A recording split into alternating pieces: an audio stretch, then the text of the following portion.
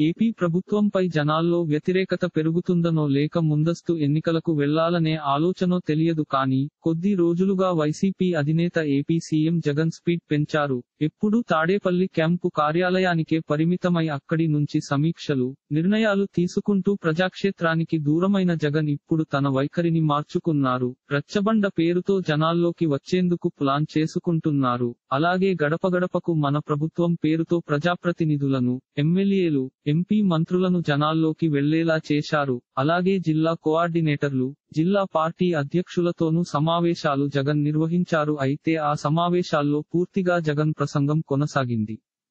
Party మళ్ళీ ఎన్నికల్లో విజయం సాధించాలంటే ఏం చేయాలి?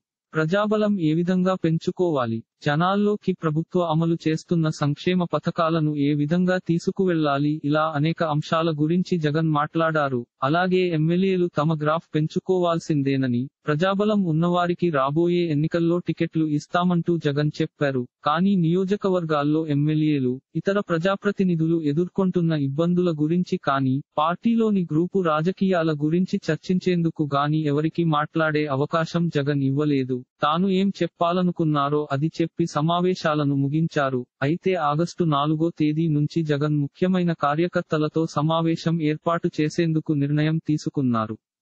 ఎంపిక చేసిన యాభై మంది కార్యకర్తలతో జగన్ నియోజకవర్గాల వారీగా సమావేశం నిర్వహించబోతున్నారు. అయితే ఈ సమావేశాల్లో వారికి మాట్లాడే అవకాశం ఇస్తారా?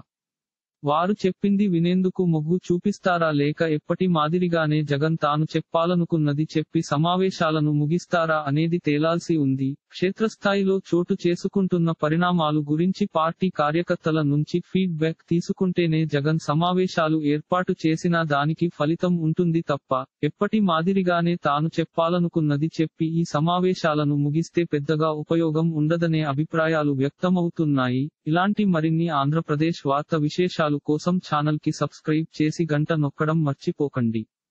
ఈ వీడియోని తోటి మిత్రులకి షేర్ చేయండి. మీ అభిప్రాయాన్ని కామెంట్లో తెలపండి.